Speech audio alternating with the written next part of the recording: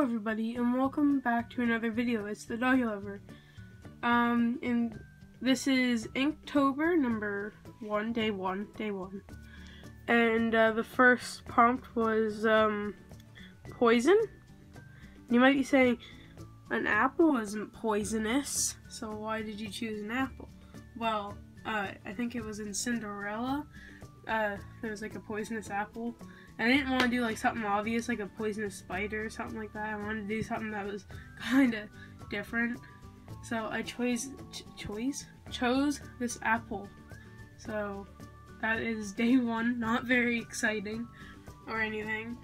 Uh, as you see, I have to work on my ink shading because uh, I'm not very good at that. I'm mainly pencil shading. So yeah, other than that, I hope you liked the video. I hope you're gonna enjoy the Inktober series. And uh, yeah, so other than that, please like, comment, and subscribe, and goodbye.